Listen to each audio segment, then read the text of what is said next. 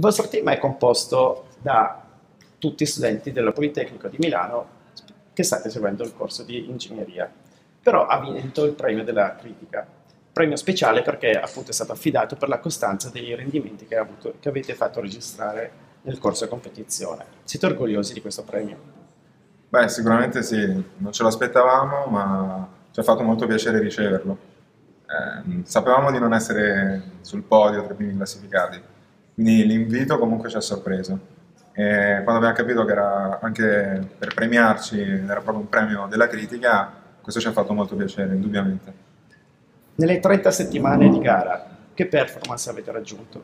Abbiamo chiuso con una performance intorno al 46% se non sbaglio, ma abbiamo anche raggiunto dei picchi più alti da quali poi sfortunatamente siamo scesi sul finale.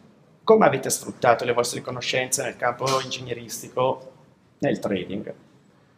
Dunque, forse quello che ci ha aiutato di più prendendo diciamo, come punto di partenza il fatto che siamo ingegneri è l'approccio più olistico, cioè non soltanto fermarci a un aspetto che possono essere degli indicatori di performance di un titolo piuttosto che un altro, quanto l'idea di appunto cercare di avere una visione più dall'alto, calarsi in un contesto mondiale, entrare in Italia e scegliere compagnie che operano anche all'estero, quindi diciamo guardare tutto più dall'alto, non soffermarsi su un singolo aspetto, su un singolo oscillatore, un indicatore, fare solo analisi tecnica. Ecco.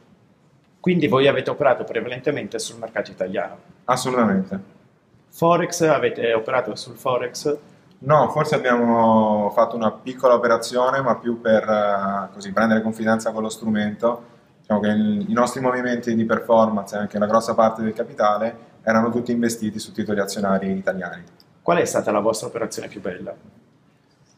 Eh, probabilmente tra le prime, cioè il credere in due o tre titoli, in particolare mi ero inventato Grill, eh, subito dopo lo spin-off abbiamo deciso di investire in, nella compagnia che ha tenuto la parte food and beverage, abbiamo dato fiducia e nel giro di penso due mesi siamo riusciti a ottenere con la leva una performance vicina all'80%.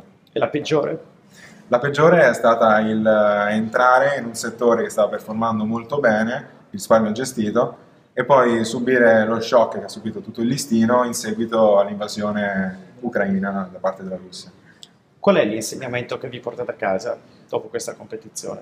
Ma sicuramente che quando diciamo, si opera con i propri soldi entra anche l'aspetto psicologico, un qualcosa con il quale noi non avevamo ancora fatto i conti perché avevamo sempre così studiato, visto dall'esterno e mai agito, operato con qualcosa che se andava bene, ci portava un guadagno, se andava male invece cioè, ci, ci, portava una perdita o comunque non, non ci dava niente. Quindi per ridurre l'aspetto psicologico che caratterizza il trading, non avete pensato di sviluppare un trading system grazie alle vostre competenze in campo ingegneristico? Dunque, noi non ci sentiamo molto confidenti con quelle che sono delle pure analisi tecniche, diciamo un approccio che fa riferimento puramente a dei movimenti di oscillatori o indici. Pensiamo che sia, dire, più intelligente, comunque più di buon senso avere un orizzonte temporale più lungo, e quando dico più lungo parlo di più di sei mesi assolutamente, infatti questa competizione era molto stretta per poterlo poi implementare. Quello che ci portiamo a casa è capire che la volatilità c'è, che andare bene, far trading bene significa sostanzialmente battere l'indice, cioè battere l'indice è la performance che si può fare. Combattere contro l'indice, cioè un indice che va molto giù, riuscire a guadagnarci lo stesso, quindi riuscire magari a shortare al momento giusto, eccetera, è un qualcosa che forse necessita di più esperienza, più sensibilità, qualcosa che a noi sicuramente mancava e che quindi sentivamo distante da quello che poteva essere quello che facciamo noi.